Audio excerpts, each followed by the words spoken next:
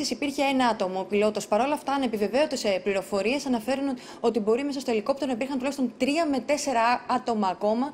Κάτι που φαίνεται αυτές οι πληροφορίες τουλάχιστον να ανησυχούν ιδιαίτερα τις αρχές. Γι' αυτό και ήδη στο σημείο. Και όσο μας μιλάς, εμείς βλέπουμε τις πρώτες εικόνες από το σημείο. Βλέπουμε εκεί σκάφη που πλησιάζουν προκειμένου να βοηθήσουν στις έρευνες για να δούμε ακριβώς τι έχει συμβεί, πόσα άτομα επέβαιναν ενδεχομένως μέσα στο ελικόπτερο. Είναι πολύ άριθμα, Βίκυ, τα ιδιωτικά σκάφη που έχουν mm -hmm. φτάσει στο σημείο, γιατί είναι ένα πολύ σύγχρονο στο σημείο, πολύ κοντά στον πόρο, κοντά στην περιοχή Σταυρός. Είναι στην νότια πλευρά του νησιού. Ε, εδώ βλέπουμε και τις εικόνες, μικρά ιδιωτικά σκάφη. Αυτή τη στιγμή όμως φτάνουν και τα έξι πλωτά σκάφη Ενώ εδώ να εξηγήσουμε, Αναστασία, συγγνώμη που σε διακόπτω, ότι σύμφωνα πάντα με τις πληροφορίες που έρχονται και εδώ στον σταθμό, βλέπουμε καλώδια της ΔΕΗ. Σύμφωνα πάντα, επαναλαμβάνω με πληροφορίες, είναι εκεί όπου λένε ότι έπεσε το ελικόπτερο κατά τη διάρκεια της απογείωσής του. Αυτό εξετάζουν και αρχές ότι τα, τα πρώτα έτη αυτής της ε, τραγωδίας να ξεκίνησαν ακριβώς από αυτό την, ουσιαστικά το μπλέξιμο του ελικοπτέρου στα καλώδια της ΔΕΗ. Γι' αυτό και εξάλλου αυτή τη στιγμή στο νησί του Σπόρου βρίσκεται ακόμα. Ε, δεν, δεν έχουν ηλεκτρισμό, είναι σε blackout.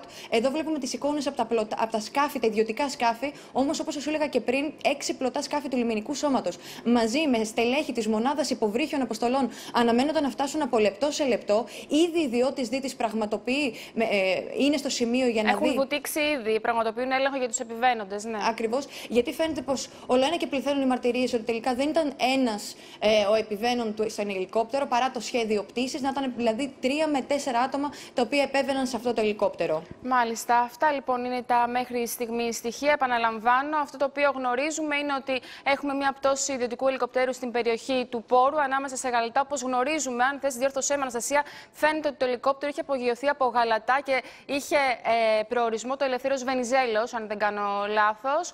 Ε, είχαμε λοιπόν την πτώση του ελικοπτέρου, μάλλον σύμφωνα με τα πρώτα στιγμή στοιχεία, από, επειδή έπεσε πάνω σε καλώδια της ΔΕΗ. Όπως είπες και εσύ, υπάρχει blackout σε Γαλατά και Πόρο. Αυτή την ώρα είναι σε εξέλιξη επιχείρηση ε, του λιμενικού και όχι μόνο, αλλά και ιδιωτών, προκειμένου να δουν Πόσοι άνθρωποι επέβαιναν μέσα στο ελικόπτερο, να δούμε τι συμβαίνει και εκεί στο θαλάσσιο χώρο. Βεβαίως και δίτες έχουν ήδη βουτήξει. Είναι μια επιχείρηση, επαναλαμβάνω, ομαδική όλης σε εξέλιξη. Ε, εννοείται πως το παρακολουθούμε το θέμα και για οτι, οτιδήποτε νεότερο, βεβαίως, κυρίες και κύριοι, θα διακόψουμε και πάλι το πρόγραμμά μας.